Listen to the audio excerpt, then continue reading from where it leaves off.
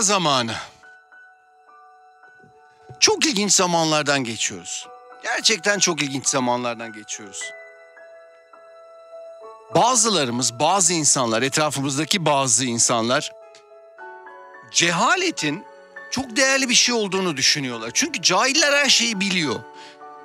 Gerçekten öyle. Cahil olmak çok güzel bir şey. Her şeyi biliyorsunuz. Her konuda her şeyi biliyorsunuz.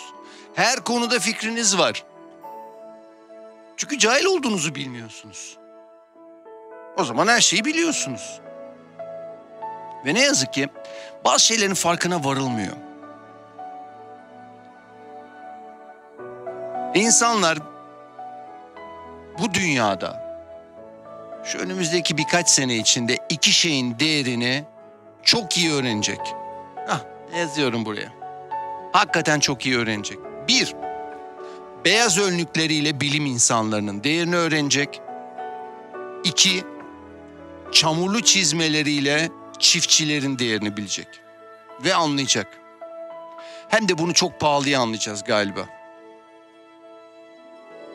Niye mi?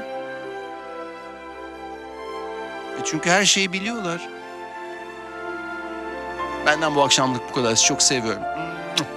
Hoşçakalın. minha pataja.